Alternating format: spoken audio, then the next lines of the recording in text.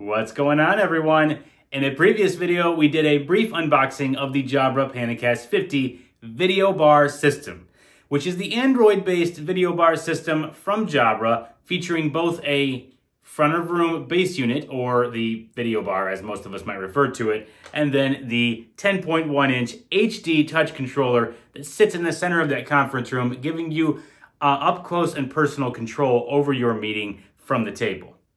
Now in this video, we're gonna take a look at how to connect these devices together over the network using the provided cables, the mounting hardware, and getting them connected online so that you are ready to use it as a Microsoft Teams room or Zoom room system.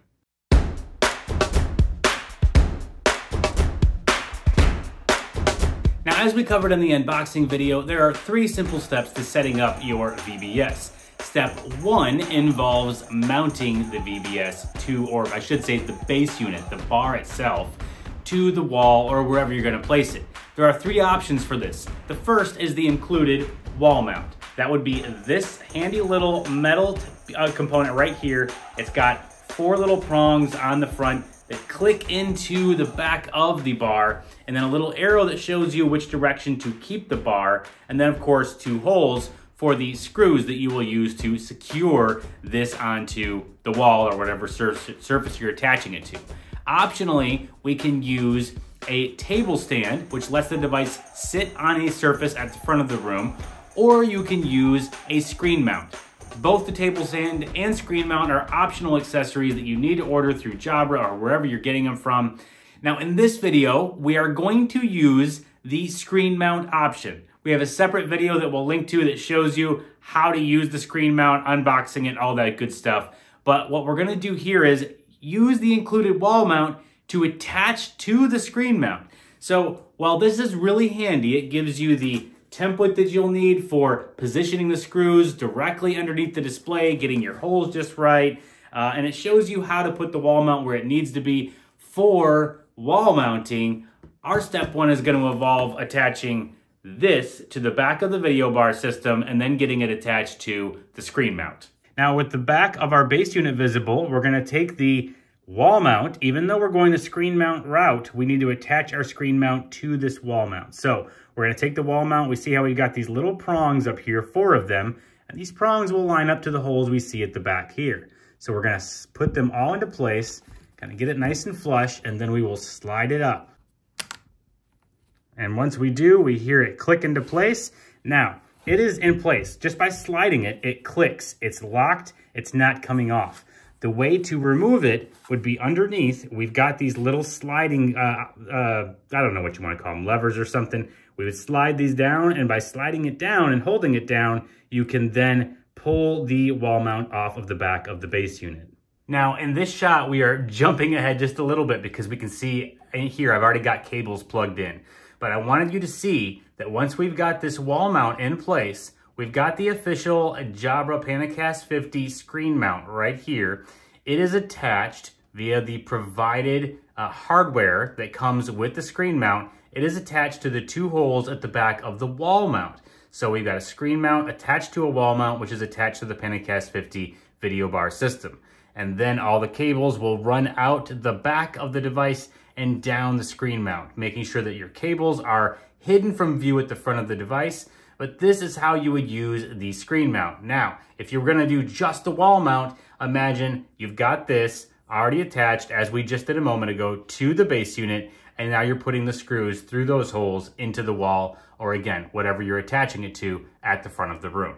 With step one out of the way, which is the mounting of the base unit, well, let's go ahead and take a look at how the cabling goes.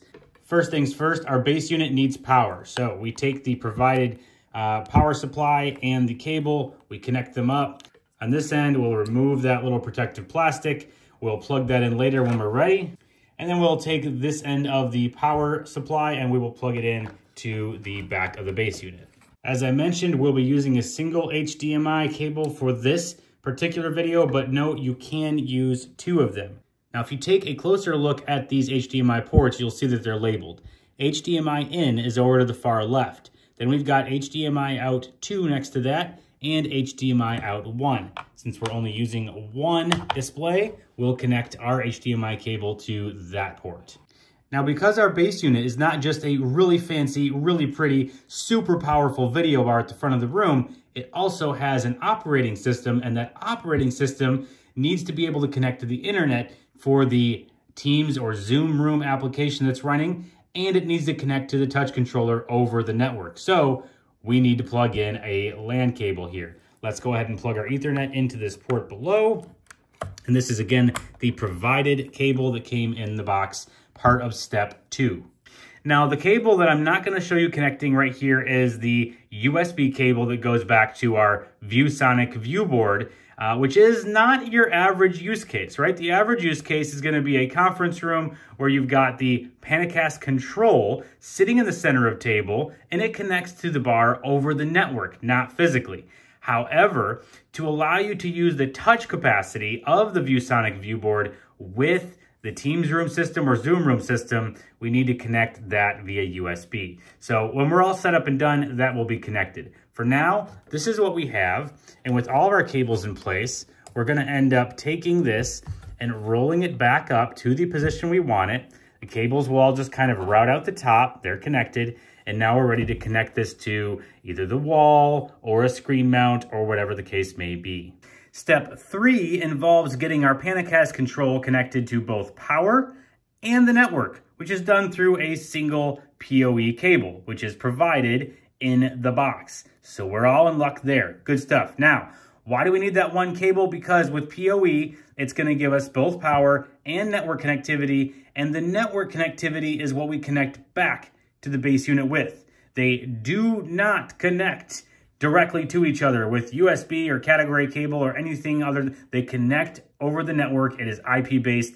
I love that fact. So let's turn this thing around, unscrew each of these screws, remove the back panel, and you're gonna have to decide, are we routing the cable out the bottom of the device? If we are, then we're going to pop that little circle out of there.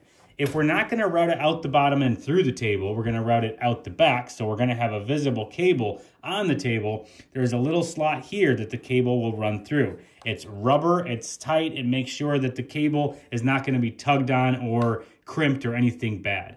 Now, where do we actually plug this into? As you can see, there are no visible ports from this angle. If we come on in, we can kind of see right down in there, we've got our ethernet port at the very bottom. So we're going to take this cable and plug it in right down here. There you go. You see that plugged in. We are clipped into place. Now, I'm not going to run this through the, uh, the bottom of the device. I'm going to bring it, route it around this little center area, and then we'll tuck it neatly into this ridge here. With it tucked into the ridge, we'll now return the bottom where it goes, getting everything lined up, screw these back into place, and we have the Panacast control connected to the cable it needs to be connected to. Now, as we see here, Panacast Control has the cable it needs connected in the way we need it connected. If we have PoE switches in our environment and we can connect this cable directly into one of those ports, providing power and internet connectivity, then we are golden, good to go.